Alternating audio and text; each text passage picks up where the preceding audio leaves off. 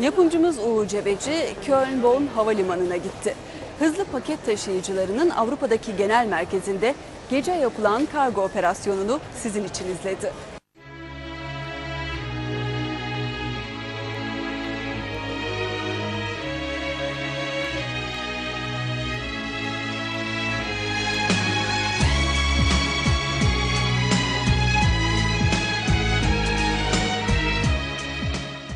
Parsel olarak adlandırılan hızlı paket kargoları sayesinde mesafeler kısalıyor.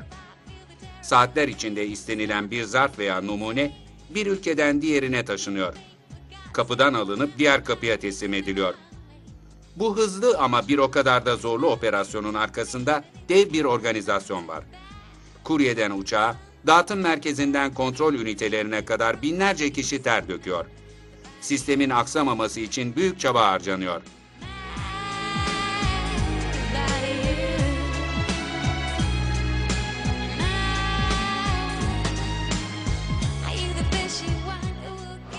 Bazen akşamları Levent'te eve dönerken köşe başında bir adam bekler beni. Aslında sakindir, benimle selamlaşmaz. Ama bir acelesi varmış gibidir. Yine de sükunetini korur. O adam uzun zamandır benim hayatımın içinde. Kahverengiler giymiştir. Ben gençliğimde Amerika'ya yaptığım seyahatlerde onu hep Amerikan Posta İdaresi'nin bir görevlisi zannederdim. O meğerse UPS denilen hızlı taşıyıcının uluslararası boyutta mükemmel bir operasyon yapan bir şirketin adamıymış. Seattle, Washington'da sadece 100 dolar sermaye ile kurulan UPS şirketi bugün yılda sadece 44 milyar dolarlık bir ciroya sahip. Dünyanın herhangi bir yerinden verdiğiniz bir paketi alıp bir yere güvenle götürüyor. Günde 15 milyondan fazla paketi sahibine ulaşıyor. Yani neredeyse İstanbul'daki herkese her gün bir paket taşıyor. Beraberinde bir risk alıyor. Güven istiyor. İşte o şirketin Köln'deki bir ana toplama merkezinde, bir hub'ındayız. İşte çeşitli yerlerden uçaklarla gelenler kendi yönlerine, kendi sahillerine, kendi adreslerine yolculuk yapacaklar. O hikayeyi gelin birlikte izleyelim.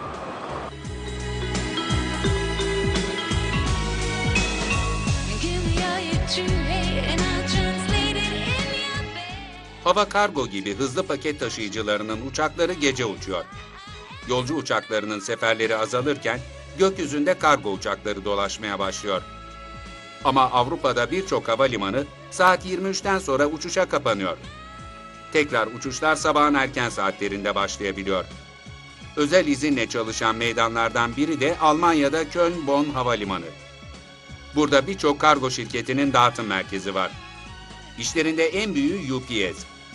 1987'de Köln'de ilk tesisini açan şirket, bugün saatte 110 bin gönderi kapasiteli hizmet veriyor. Dünyadan Köln'e akan gönderiler buradan Avrupa'ya dağılıyor. Tesislerde hayat gece yaşanıyor. Saatler 22'yi gösterirken personel iş yerine geliyor.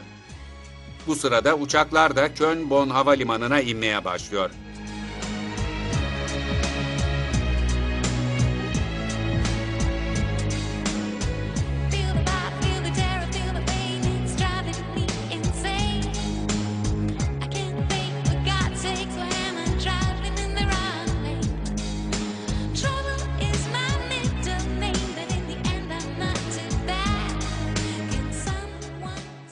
Yapımcımız Uğur Cebeci ile birlikte önce briefing salonunda tesisleri tanıyoruz.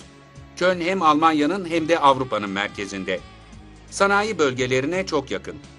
Aynı zamanda da meteorolojik şartlar pek fazla bölgeyi etkilemiyor. Havalimanı nadiren kapanıyor. Ardından yaklaşık 600 personelin görev yaptığı dağıtım alanına geçiyoruz. Kargo uçaklarından indirilen konteynerler burada yürüyen bantlara boşaltılıyor. Dünyanın dört bir tarafından gelen gönderilerin otomatik olarak barkodları okunuyor. Yola devam edecekleri yerlere ayrılıyor. Çalışanlar tesislerde zamana karşı adeta savaşıyor. Bir dakikalık gecikme tüm operasyonu etkiliyor. Yanımızda UPS'in Türkiye Ülke Müdürü Michael Harrell da var.